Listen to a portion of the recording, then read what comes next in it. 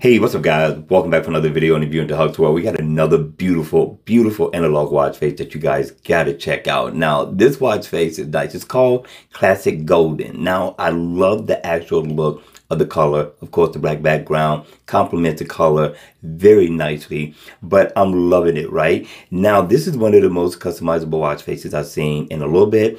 Now, looking at this watch, right? Let's take a look at it. You got the 12 and the 6 that are in bigger numbers. You do have more numbers. They're going to be smaller. Doesn't take away from the watch face at all. If you look at the top, over to your right, you got your date time, uh, your date information, which I thought was nice. Uh, you come down, it do let you know uh, that I'm close to the Chicagoland area. I like that Timex stamp with the date information that really gives it that classic look.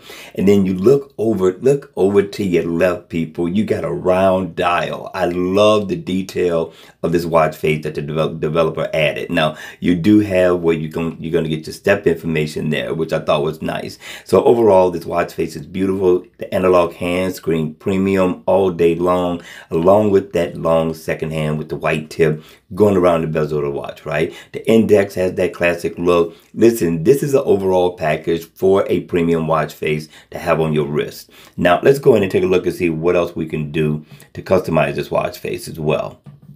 Now, we are going to be able to change some things that I thought was really, really nice. Now, you can change the shadow, right? If you guys are into that. And me, I'm not, so I'm going to leave it there. And here we have the colors, right? Check out the colors. Check out the colors, just their background color. So if you want to change it, you can change it to whatever color you want. These are all nice. I really like that business look with the black and gold. But if you want to change it, uh, you can't change this, right? Let's leave it on that blue.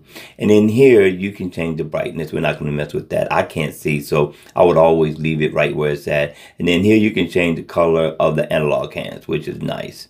So yeah, let's leave that red there because it makes that blue pop. And then check this out, right? You can change the index. So I love how you can customize this to give it the uh, a unique look so far as a watch face is concerned.